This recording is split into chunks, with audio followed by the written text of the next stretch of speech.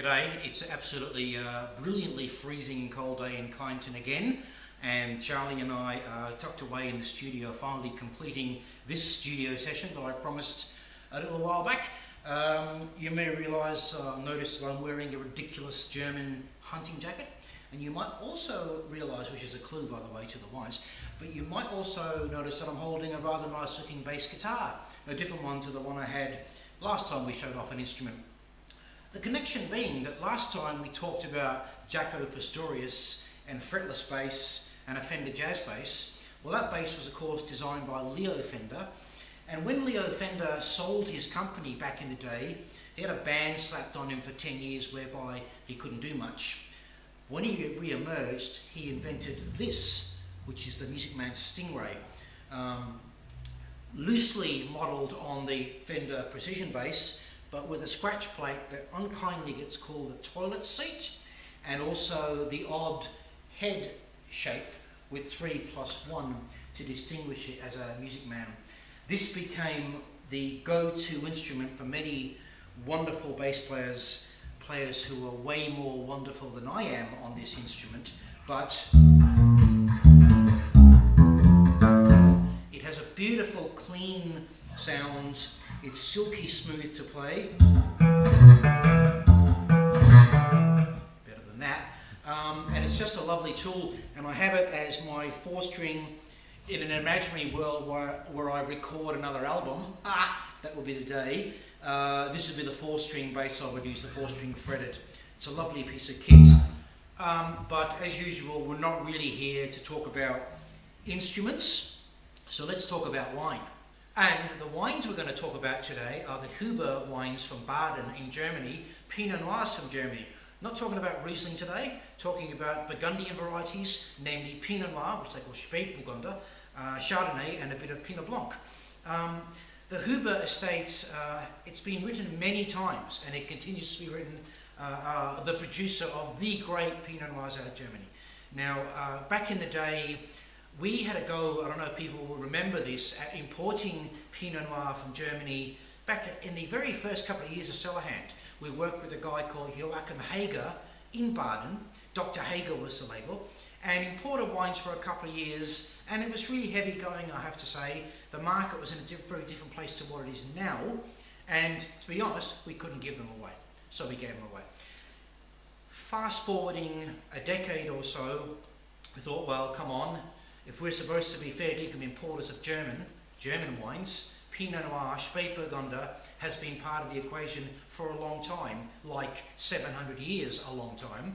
So we thought, well, let's find out what's going on. Made a few calls, had a few good friends in Germany, obviously, and the unanimous word was that Bernhard Huber in the village of Malterdinger was the guy. So we made contact, uh, we arranged a visit, we went to see him, and the phrase blown away gets used a lot in wine, doesn't it? I was blown away. It was a fantastic visit. We went to visit Bernard a few times after that. Unfortunately, he passed away a few years ago, but not before he was able to do a very, uh, what must have been surreal handover for a couple of years to his son Julian, who's going to make the wines going forward, and he's doing a fantastic job. The wines we're going to look at today are full set from 2015. Uh, we've got an offer in play on these at the moment, and we're going to go through the wines one by one and rather than uh, me do tasting notes on them, I'm going to make a bunch of statements about the wines. Uh, so the first wine is the Weißer Burgunder, or Pinot Blanc, uh, which effectively, if you want to use a French uh, comparison, is the Bourgogne Blanc of the estate. Uh, Ikem, who is the assistant winemaker, great name, that is her name, Ikem, and Julian uh, really want to edge the everything about the estate forward. And 2015 was the first year that they started to be able to have input into that. Um, so here, I'm going to read off my screen because I wrote down things to talk about statements when we were tasting through the wines. White chocolate vanilla spice, mouth-watering lemon acidity, hay, straw, all kinds of yellow grasses. Kaffir lime leaf, why is this? Is this Chardonnay?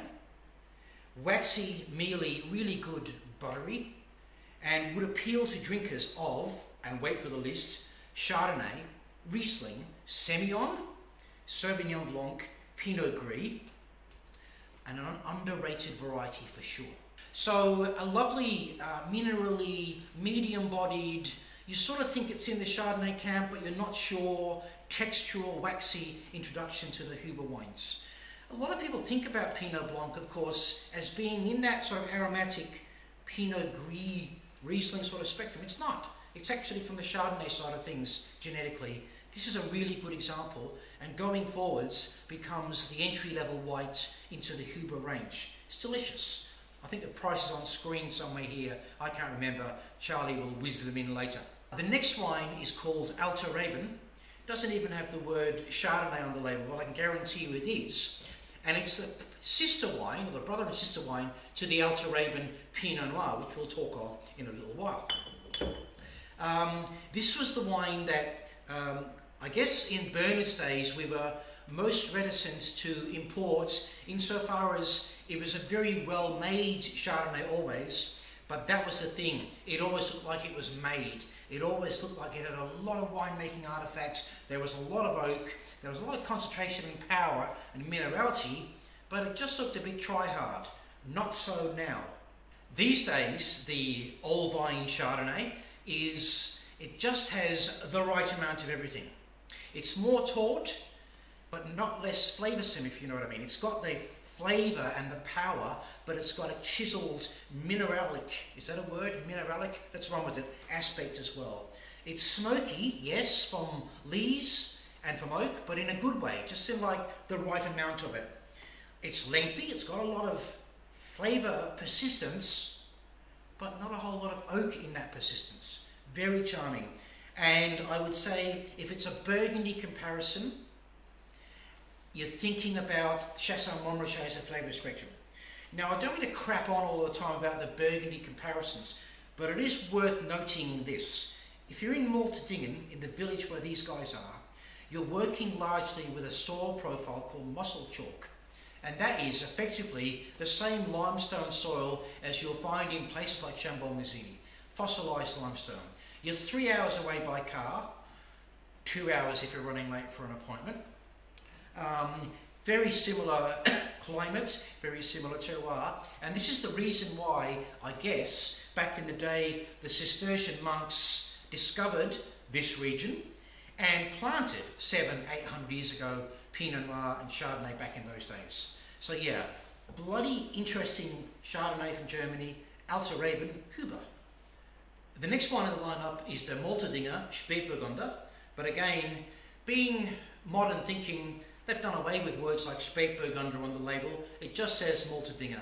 And really what they're wanting to get to is have this as a village level, whereby you associate it with being from a particular village, in this case Malterdinger, and from a particular producer.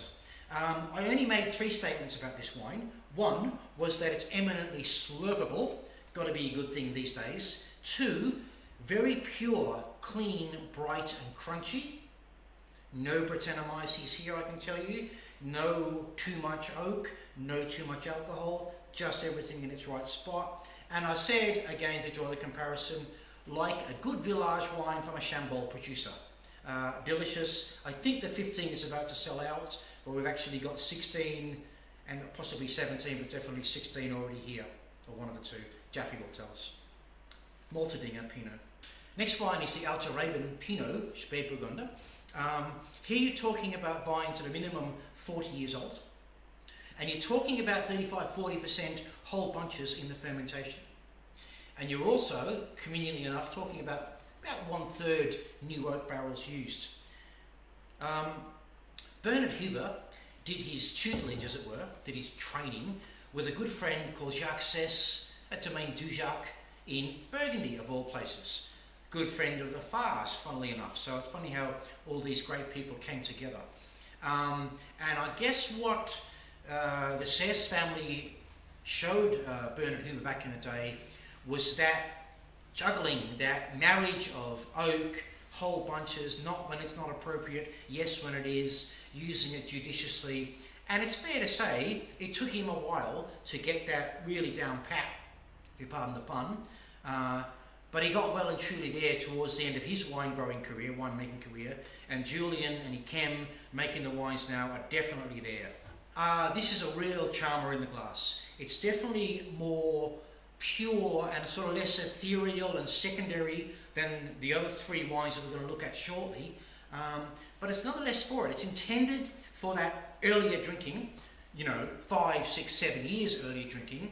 But from a restaurant perspective, it's probably one of the picks in terms of the sweet spot LUC wise, uh, the sweet spot on a retail shelf. Um, deeply coloured, quite imposing in the glass, but a lot of those lovely strawberry fruit notes, but more like strawberry conserve, concentrated, really uh, dense but light on his feet at the same time. Love this wine year in, year out. The 2015 version, utterly charming. It's the Alter Reben. Next wine in the lineup is one of the GGs or Grosses Gewächs Grand Cru level of German Pinot Noir. This is one called Schlossberg. And yes, you've heard that name before uh, in Alsace, Schlossberg, Breuerberg, Schlossberg in the Rheingau. This one is Hecklinger Schlossberg from Huber. And Schloss, of course, means castle and Berg means hill or mountain. And it's to signify on this steep, steep uh, terrace where this vineyard is, big old castle, hence calling it Schlossberg.